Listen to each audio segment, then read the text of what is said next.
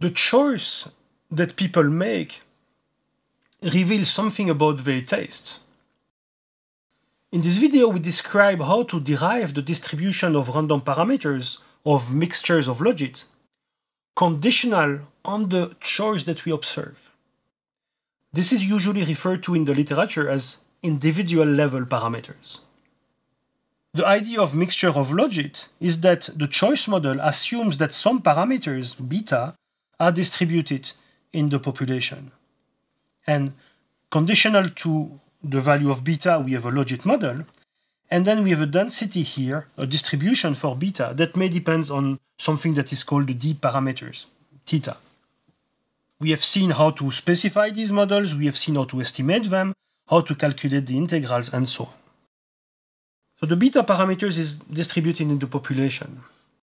Now if I observe the choice of people, suppose that I have some people who travel by car and some people who travel by public transportation. Maybe the fact that I know of a choice will reveal something to me about the specific distribution that they have. And instead of assuming that the, I have one distribution for the entire population, I will try to get the distribution for car riders and public transportation passengers. So this is basically a, an introduction to a concept that has been introduced by Revelt and Train. I will refer you to the paper for the details, but I will try to give you the intuition and the main equations for these individual level parameters. Okay, so if we have seen in the population beta is distributed and the density function that we have assumed is f of beta given theta.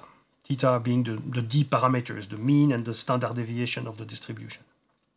Now, let's take a specific individual, and this individual has a configuration ix, so we have observed this individual, we have observed the choice, and we have observed also the explanatory variables x, so he's in the sample. Now what I would like to know is what is the distribution of people like this? And I will denote this distribution by h. So h of beta, conditional to ix and theta, is the distribution of beta for people with a configuration i and x. And I will use Bayes' theorem to actually calculate this quantity. So I will consider the joint distribution, let's call it G, of i and beta given x and theta. And I can write this in two ways. I can write it as the distribution of beta given i, x and theta. So this, this is what I've called h, times the probability of i given x and theta. But I can do it in the other direction as well. I can write it as the probability of i given beta and x. I have no theta here. I call it p times f of beta. So if you look at these quantities, so this is the distribution of beta in the subpopulation characterized by i and x. This is the distribution in the population of the in the full population of beta. This is the choice model, and this is the kernel that gives the choice conditional to beta. So if I use all this specification, I can write the distribution of beta in the subpopulation as p of i given x and beta times f of beta given theta divided by p of i given x and theta. So what is this?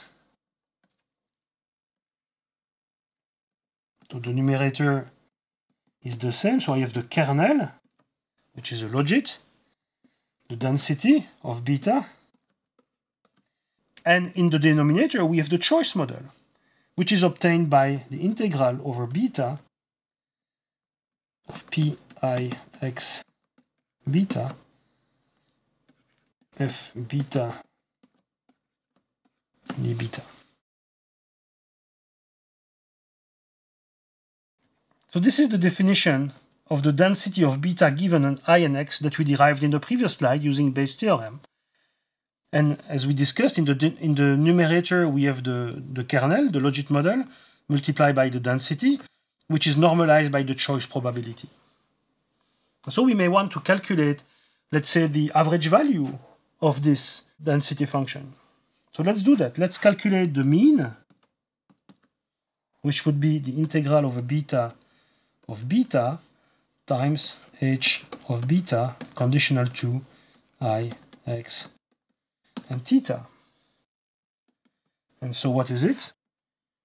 Well, this is the integral of a beta of beta p i given x beta f beta given theta d beta divided by the integral over beta of p i given x and beta f of beta given theta d beta. This is the ratio of two integrals. And these two integrals look similar. They both involve the kernel, the density of f. The difference is that here we have an additional beta. So how to calculate this? So you generate the betas by simulation from the density which is specified here. And then you plug the values of beta in the kernel. And for the numerator, you just multiply them by beta before calculating the average. And you don't do it for the denominator. So again, we use Monte Carlo integration. It's very simple. So it means that we can calculate this quantity for each individual in the sample. Indeed, each individual in the sample is associated with this configuration, in, xn, and therefore we can use the formula derived in the previous slide to calculate the mean value of the parameter. And this is why it's called an individual value parameter, because this person n is characterized by what we observed from her, i and x, and we derive beta bar based on these values. I did it for the Swissmetro example, and you see here the distribution of beta t for each category. So here I did it for each choice. In blue you have the train, in green you have the car, and in orange you have the Swissmetro. It seems that people who take the train are less sensitive to travel time than people who take the car, and those people who say that they really would like to use Swissmetro apparently have a more negative time sensitivity than the others.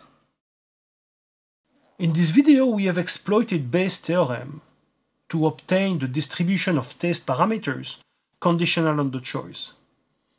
And we have access to the entire distribution, so we can calculate various indicators, in particular, the mean. So I have shown you how to calculate the mean of this taste parameter for specific individuals.